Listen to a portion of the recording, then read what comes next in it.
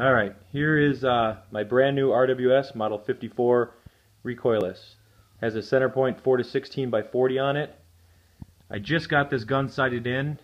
I just sighted in about 10 yards. Uh, it's doing pretty well. Now I have to put it on a bench to really fine tune the groups, but this gun is an absolute beast. I mean, I'm used to the 36, and this thing is way wider, way heavier. Doesn't help that that scope is kind of heavy too, but anyway, the cocking effort, everything is way more.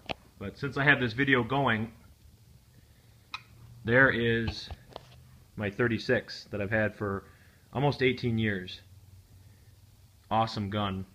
And compared to the 54, it is sure narrow and light and way easier to cock, and it's a great gun, but power-wise, I already compared the two, and the 54 blows it away. It penetrated phone books better than the 177 Model 36, and my 54 is a 22 caliber.